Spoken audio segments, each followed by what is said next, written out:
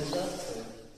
Да, там сигнализация вверху. Но это все дело в том, что вот, например, в этой розетке провод заходит в зал оттуда, и он так брошен, мы его уже ровно по вертикали и по горизонтали, мы его не сможем положить, его не хватит, он коробки будет.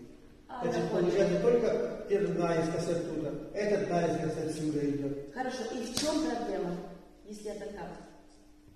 Мне как художнику э, эстетически, А проблема в том, что вся это, весь, все это остается так, как оно есть. ну в чем эта проблема? Где проблема? Но мы не можем оставлять открытые провода и все остальное. А это из-за безопасности? вы говорите? Конечно. А, поэтому Да, я же да, спрашиваю, да. если кто-то дотронется, или что это Ну, ну, да, опасно? мы не имеем права, конечно, у нас есть определенные правила. Ну, это, то есть, это можно закрыть караване, допустим, да, на Но это будет хаотическое расположение и коробок. хаотическое, да, да.